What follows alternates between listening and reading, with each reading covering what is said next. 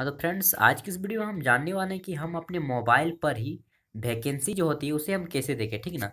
अक्सर मुझसे दोस्त मिलते हैं तो पूछते हैं कि, भाई, कोई भी वैकेंसी आए तो मुझे बता दिया कीजिए। ठीक ना? तो मैं बता दूँ कि आप अपने मोबाइल पर वैकेंसी ही देख सकते हैं। जी हाँ जिस प्रकार मैं देखता हूँ, उस प्रकार आप भी देख सकते हैं। ठीक ना? तो मैं वो चीज़ें बताने जा रहा हूँ। कृपया गौर से सुनिएगा और विशेष रूप से जो गर्ल्स होते हैं, यानी कि लड़कियाँ उन्हें नहीं पता होता है कि वैकेंसी कहाँ से आता है और हम किस प्रकार देखें ठीक ना? और वे दूसरों से पूछते हैं तो दूसरों से सहारा लेना अच्छी बात है, लेकिन हमेशा सहारा नहीं लेनी चाहिए, ठीक ना? आप मुझे हमेशा सहारा, मेरी सहारा ना लें या किसी की भी सहारा ना लें, खुद देखिए, कैसे देखना है? सबसे पहले देखने के लिए अपना मोबाइल है, देखिए, आपका मोबाइल से यह देख सकते हैं, ये मेरा मोबाइल है ना? अब आपको क्या करना है? अपने मोबाइल पर ही आपको गूगल क्रोम खोलना है, ठीक? ये देखिए, यहाँ पे क्रोम या गूगल, ये जो गूगल दिख रहा है या फिर गूगल या फिर क्रोम, दो में से खोल लीजिए। ठीक? देखिए, ये मैंने खोल दिया। अपने मोबाइल पर ही करके दिखा रहा हूँ सारा कुछ। अब आपको क्या करेंगे? जब आप मोबाइल खोलेंगे तो आपका मोबाइल इस प्रकार होता है। इसी प्रकार आता है? हाँ। अब यहाँ पे क्या करना है? आपको सर्च में आना है। ठीक ना? और यहाँ पे एक, दो चीज़ मैं दो साइट बताने जा रहा हूँ। वहाँ पे वैकेंसी देखा जाता है। मैं ये लगाकर मैं तीसरी बार इस पर वीडियो बना रहा हूँ। ठीक है ना? लेकिन नहीं मालूम होता है, अक्सर मुझसे पूछे, कल भी पूछा, एक मतलब लगभग दो तीन दिन में प्रत्येक बार कोई ना कोई पूछते हैं तो इसलिए मैं बना रहा हूँ। अब देखिए यहाँ पे आपको सर्च मारना ये चीज़, सरकारी रिज़ल्ट डॉट कॉम, ठीक ना? जिस प्रकार मैंने यहाँ पे लिखा है, इसे आप मार लीजिए, आपको लगता है तो आप यहाँ पे नोट कर लीजिए या फिर आप इसका स्क्रीनशॉट ले लीजिए, सरकारी रिज़ल्ट डॉट कॉम, यही चीज़ आपको सर्च मारना है। तो चलिए हम सर्च मार लेते हैं। देखिए, ये चीज़ होगी जब आप सर्च मारेंगे, तब आपको यहाँ पे बहुत सारे ऑप्शन मिलेंगे और नीचे स्क्रॉल करेंगे तो ठीक ना, बहुत सारे साइट खुलेंगे। आपको सबसे ऊपर वाला साइट पे क्लिक करना है, ये वाला। तो यहाँ पे दिख रहा है सरकारी रिज़ल्ट, इसे क्लिक करना है, ठीक? तो यहाँ पे हम क्लिक कर लेते हैं। अब आपको क्लिक करने के बाद यहाँ पे एक बहुत सारे चीज़ों खुल जाएँगे और आप देख के जब पहली बार कोई खोल रहा है तो आपको हैरानी होगी। लेकिन यहाँ पे बता दूँ, देखिए आपको गौर क्या करना है, सबसे पहले जितने भी वैकेंसी आते हैं, सबसे आपको इधर वाले खाने में आना है। बहुत से खाने बने हैं इधर वाले। देखिए, यहाँ पे लिखा है लेटेस्ट जॉब यानी कि जितने भी वैकेंसी निकलती है भारत सरकार या फिर भारत के किसी भी राज्य में तो यहाँ पे दिया जाता है लेटेस्ट जॉब में। ठीक? अगर किसी भी प्रकार की नौकरी निकलती है, उसका एडमिट कार्ड ठीक ना? जो भी फॉर्म भर रहे हैं, उसका एडमिट कार्ड कब आता है और कैसे आता है, ठीक ना? तो इन सभी का एडमिट कार्ड यहाँ पे दिया होता है, दूसरे खाने में, ठीक ना?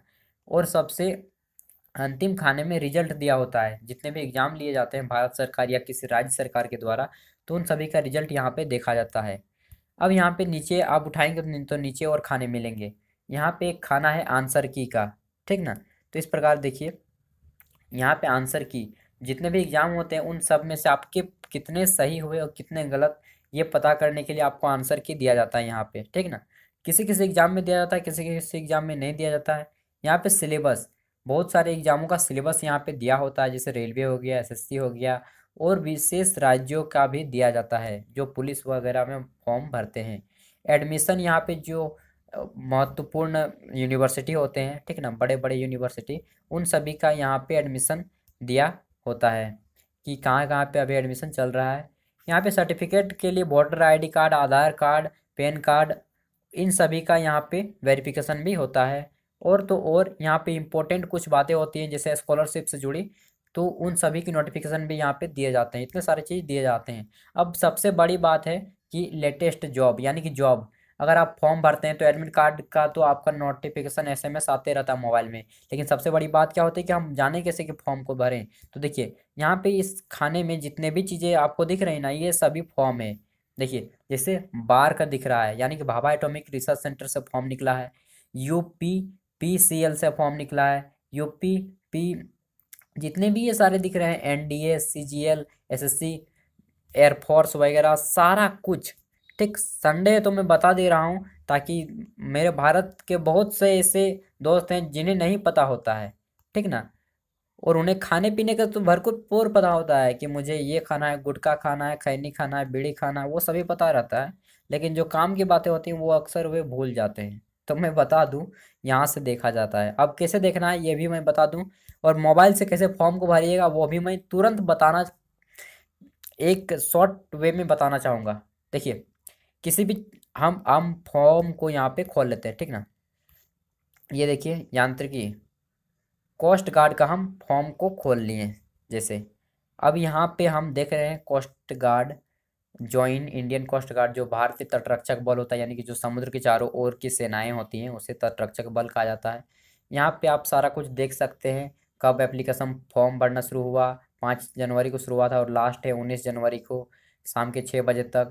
एडमिट कार्ड कब आएगा? वो भी दे दिए, फरवरी, मार्च में एग्ज़ाम डेट मार्च में होगा। ठीक, यहाँ पे फॉर्म का पैसा वगैरह कितना लगता है, ये सारा चीज़ देखा जाता है। यहाँ पे उम्र सीमा कितनी है? वो दिखी जाती है कम से कम उम्र सीमा, अधिक से अधिक उम्र सीमा। यहाँ पे आपको वैकेंसी का कितने पोस्ट हैं, वे सारे देख सकते हैं। यहाँ पे आपकी क्वालिफिकेशन क्या होनी चाहिए यानी कि आप कितने पढ़े लिखे होने चाहिए, ये सारी चीज़ आप एलिजिबिलिटी में देख सकते हैं। टोटल पोस्ट देख सकते हैं और पोस्ट के विवरण देख सकते हैं। किसमें कितने पोस्ट हैं, कौन से कैटेगरी में, वे सारी चीज़ आप यहाँ से चेक कर सकते हैं। और यहाँ से आप इसका ऑफिशियल नोटिफिकेशन भी चेक कर सकते हैं। देखिए ऑफिशियल वेबसाइट पे आप जा सकते हैं यहाँ पे। यहाँ पे आप ऑनलाइन कर सकते हैं। ऑनलाइन फॉर्म यहीं से भर सकते हैं, पहले वाले खाने से, ठीक? और पहले वाले खाने से ऑनलाइन फॉर्म भर सकते हैं। यहाँ से आप डाउनलोड नोटिफिकेशन जो है, यहाँ से आकर आप क्लिक हेयर में डाउनलोड कर सकते हैं नोटिफिकेशन को, जो इनका ऑफिशियल नोटिफिकेशन होता है। इतने सारे चीज़ तो आप देख ही लिए। और अगर किसी किसी का सिलेबस दिया होता है तो वो सारा सिलेबस भी यहाँ पे मेंटेन किया होता है नीचे में। तो सारा कुछ मैंने बता दिया। अब फॉर्म कैसे भरना है यहाँ पे? आपको स्पेशल वीडियो देखना पड़ेगा उसके लिए?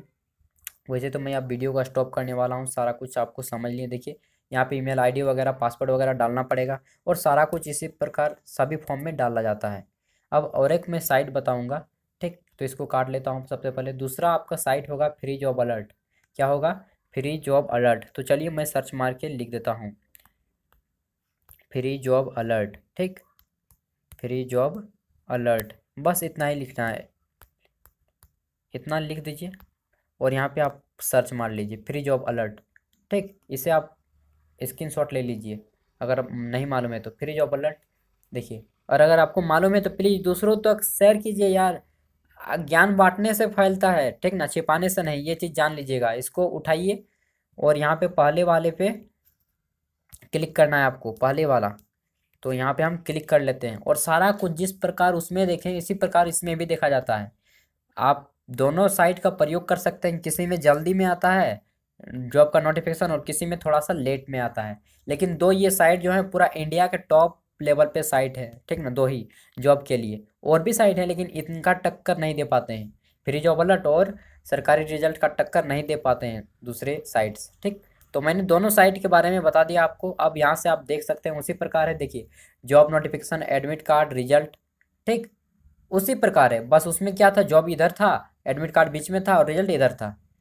सेम चीज़ वही है स्टेट जॉब इसमें एक खासियत दी गई है कि यहाँ पे आपको स्टेट जॉब अलग से कर दिए गए हैं। जितने भी राज्यों के वैकेंसी निकलते हैं, वो सभी राज्यों के वैकेंसी आप यहाँ पे अलग से देख सकते हैं।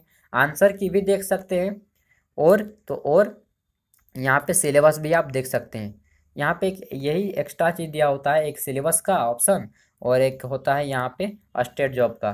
तो जिस, जो आपको पसंद आए, जिसमें आपको वैकेंसी देखने का मन करे, उससे देखिए, लेकिन दूसरों को बताइए और खुद भी देखिए, ठीक? ज्ञान बांटिए यार, प्लीज़, वीडियो को शेयर ज़रूर कीजिएगा, क्योंकि दूसरों को नहीं पता है। आपको मालूम है, आपको लगता है इजी लेकिन दूसरों को नहीं पता है। रियली बता रहा हूँ, भारत में जो युवा होते हैं ना, खास करके जो सरकारी स्कूल में पढ़ते हैं, चाहे वो लड़की हो, चाहे लड़का, किसी भी स्टूडेंट का एट्टी परसेंट युवा जो होते हैं, वो फालतू में चले जाते हैं, अपनी पढ़ाई को बर्बाद कर देते हैं इस प्रकार। मुझे कहने में शर्म नहीं आ रही है क्योंकि ये सत्य है और सत्य से वाकिफ़ होना ही चाहिए। तो प्लीज़ उन तक वीडियो को शेयर कीजिएगा।